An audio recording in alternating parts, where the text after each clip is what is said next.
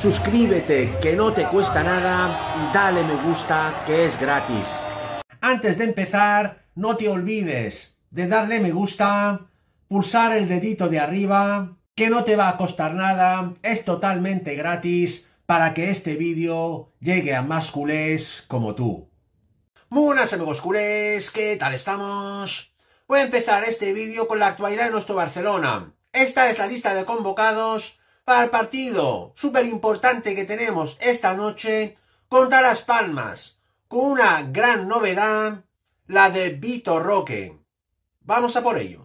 Pues bien, con el 2 yo Cancelo, con el 3 Alejandro Valde, con el 4 Ronald Araujo, con el 7 Farran Torres, con el 9 Robert Lewandowski, con el 11 Rafinha, con el 13 Iñaki Peña, con el 14 Joao Félix, con el 15 Christensen, con el 18 Oriol Romeu, con el 19 Vito Roque, esta es la gran novedad, la lista de convocados para el partido de hoy, con el 20 Sergi Roberto, con el 21 Frankie de Jong, con el 22 Ilkay Gundogan, con el 23 Jules Koundé, con el 26 Astralaga, con el 27 Lamin Jamal, con el 31 Koshen, con el 32 Fermín López, con el 33 Kubarsi y por último con el 39 Héctor Ford.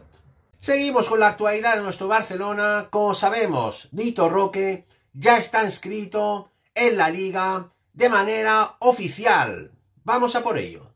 Pues bien, ya es oficial, Vito Roque ya está inscrito y podrá debutar ante Las Palmas. El delantero brasileño viajó a Las Palmas, ya tiene el ok de la liga. Hoy si Xavi quiere, se estrenará como azulgrana. La liga hizo oficial a las nueve y media de la noche de ayer miércoles la inscripción de Vito Roque como jugador barcelonista, con lo que el fichaje brasileño del Barcelona estará a disposición de Xavi para ser alineado en el estadio Gran Canaria, si es que el técnico barcelonista así lo considera oportuno.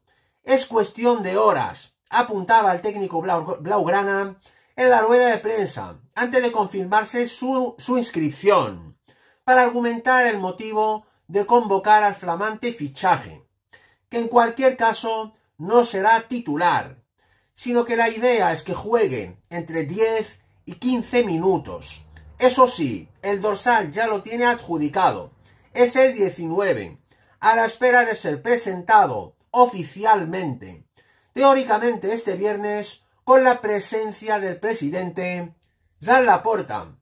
La oficialidad de la inscripción del brasileño se produjo mientras que el equipo barcelonista viajaba ayer a Las Palmas de Gran Canaria, después de haberse entrenado por la tarde en la ciudad esportiva Joan Gamper. La liga hacía días que daba por segura la inscripción del brasileño, ya que el club se acogió al artículo 77 de lesiones de larga duración, que permiten aprovechar el 80% del coste del futbolista lesionado. En este caso, como sabemos, Gaby, lo que faltaba por concretar era el papeleo burocrático que facilitará su transfer y los pertinentes permisos de trabajo.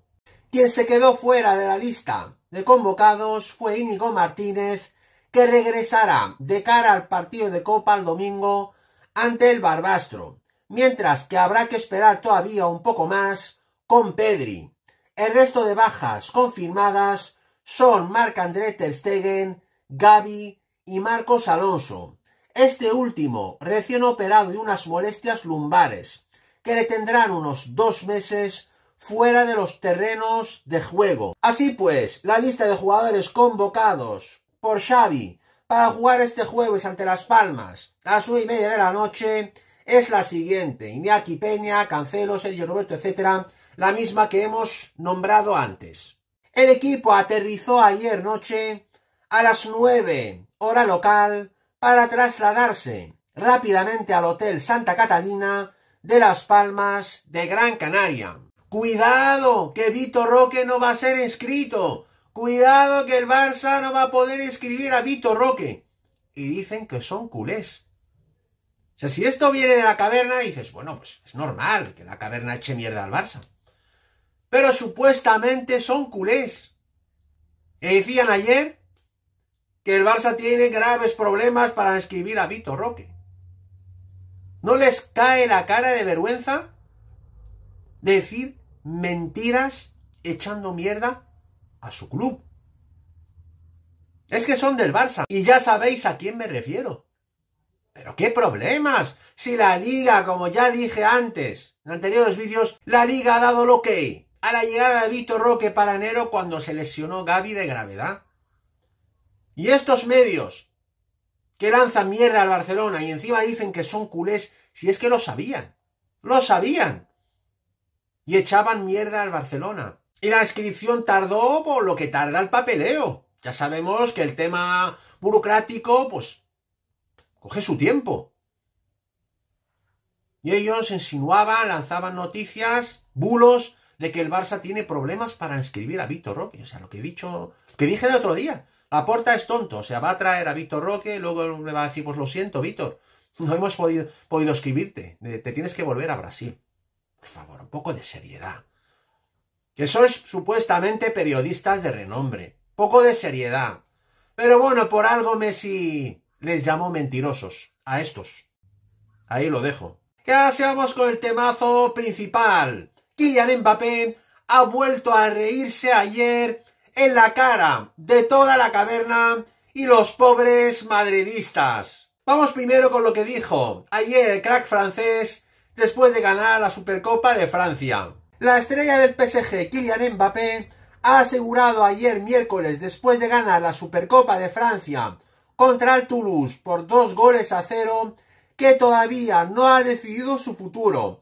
El delantero acaba contrato con su actual equipo el próximo 30 de junio. Es alucinante cómo Mbappé vacila a toda la caverna. Es que, vamos, se ríen sus caras. Palabras textuales de Kylian Mbappé. No, no he tomado una decisión. Aún no tengo decidido mi futuro. No tomé una elección. Con el acuerdo que hice con el presidente Nasser Al-Khelaifi el pasado verano, sea cual sea mi decisión, logramos proteger a todas las partes y preservar la serenidad del club. Para los próximos meses ha asegurado Kylian Mbappé. Si es que lo voy a decir claro y alto, la caverna los madridistas que siguen deseando el fichaje de Kylian Mbappé no tienen dignidad. Bombazo de última hora. Una fuente parisina muy importante acaba de asegurar que el Barcelona va a ir a por todas a por el fichaje de Kylian Mbappé el próximo verano. Y la clave de esta pedazo de operación van a ser dos jugadores del Barcelona. La venta de Ronald Araujo al Bayern que puede superar los 100 millones de euros. El club alemán no descarta pagar esa cantidad por el central uruguayo incluso en este mismo mes de enero. Y la venta de Pedri por una cantidad similar al Paris Saint Germain. La misma fuente afirma que Kylian Mbappé descarta definitivamente jugar en el Real Madrid y ve con buenos ojos hacerlo en el club blaugrana si el Barça logra afrontar esta operación en el próximo verano. Estaremos atentos a los acontecimientos. Esta ha sido mi grandísima noticia de hoy, amigos culés. No os olvidéis suscribirse a mi canal, que no os cuesta nada pulsar un like como siempre y dejarme comentarios para cambiar opiniones. Muchas gracias, Forza Barça por siempre, vamos a por todas y nos vemos muy pronto en mi próximo vídeo. ¡Vamos!